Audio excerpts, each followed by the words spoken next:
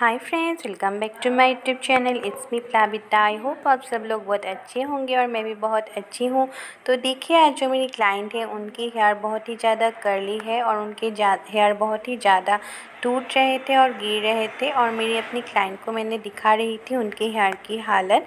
तो मैं उनकी हेयर पे आज स्टेप कटिंग करने जा रही हूँ। तो किस तरह देखिए, मैं उनकी हेयर पे स्टेप कटिंग करूँगी। पहले तो मैं उनकी हेयर पे फाइव सेक्शन आगे तीन और पीछे दो सेक्शन बना लूँगी।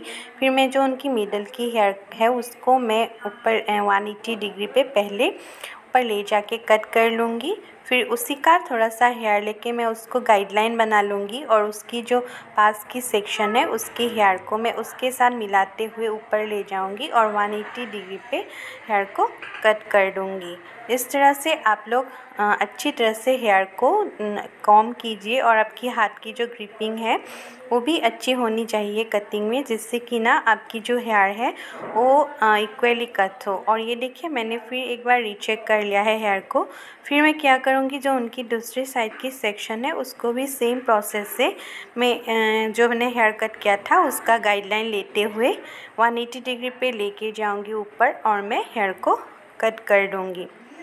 ये देखिए मैंने दूसरा सेक्शन भी कट कर लिया है। आगे की सेक्शंस कितनी ईज़िली मेरे कट कट हो गए हैं। अभी मैं पीछे जो है ना उसकी आ, एक सेक्शन लूँगी। उसको मैं आगे की हेयर का गाइडलाइन बनाते हुए 180 डिग्री पे ऊपर लेके जाऊँगी। फिर मैं कट कर दूँगी। और आप लोग हमेशा अच्छी तरह से ना हेयर को, अच्छी तरह से कॉम कीजिए। और सिल्की हेयर होता है तो उसमें बहुत प्रॉब्लम नहीं होता, लेकिन जिनकी हेयर इस तरह से डैमेज होते हैं या फिर करली होती है, रफ़ होती है तो उसमें थोड़ा सा प्रॉब्लम होता है।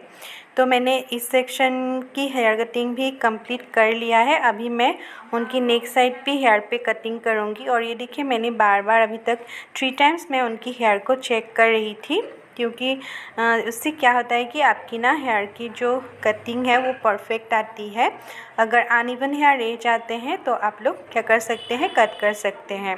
और ये देखिए, मैंने जो उनकी नेक्स्ट सेक्शन है, जो लास्ट हमारी सेक्शन है, उसको भी अच्छी तरह से कट कॉम करके कट कर लिया है और आप लोगों ने पहले ही देखा था, मैंने ना उनकी हेयर को शैम्पू नहीं कराया था, लेकिन अच्छी तरह से हेयर को उनका वेट कर लिया था।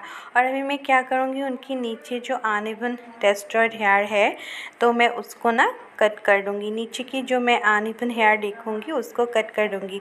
क्योंकि उनकी हेयर ना ऑलरेडी बहुत ही ज़्यादा नीचे डैमेज थे शायद कैमरे में आप लोगों को नहीं नज़र आ रहा था। तो मेरा बीच में मेरा जो मैं चाहती थी, वो मेरा स्टेप्स बन गए हैं। अभी मैं आगे की हेयर को क्या करूँगी, वो जितना चाहती है उतनी लेंथ पे कट कर लूँगी। वो हेयर को ज़्यादा आगे शॉर्ट नहीं करना चाहती थी। और फिर मैं क्या करूँगी, उसी हेयर का गाइडलाइन लेते हुए उसको पीछे की हेयर के साथ मिलाते हुए मैं कट करती जाऊँगी। ये देखिए, जो मैंने आगे हेयर कट किया था, उसके साथ मैंने अब उनके पीछे की हेयर को लेते हुए मैं कट करती जा रही हूँ। इस तरह से मिलाते हुए आप लोग पीछे पीछे की पूरे हेयर को दो पार्ट में डिवाइड कर लीजिए। फिर इस साइड की हेयर को, इस साइड की गाइडलाइन के साथ मिलाते हुए कट कर दीजिए। और ये मेरा इस साइड का जो हेयर है उसका कटिंग भी आ, मैंने कंप्लीट कर लिया है। अभी मैं क्या करूँगी सेम प्रोसेस से उनकी जो नेक साइड की सेक्शन की हेयर है उस पर भी मैं सेम प्रोसेस से हेयर को कट कर लूँगी।